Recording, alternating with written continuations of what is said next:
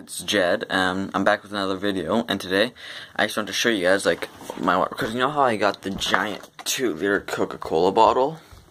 Yeah, well, now I got another giant 2-liter, I got two more 2-liter water bottles to flip, and if you look, that's blue, but if you look at this one, hold on, if you look at this one, it looks like Pepsi, but it's actually green water, but if you just let it stop shaking and settling, it kind of looks like Pepsi or something. And so yeah, like I said, I dyed the water, especially in here, this one.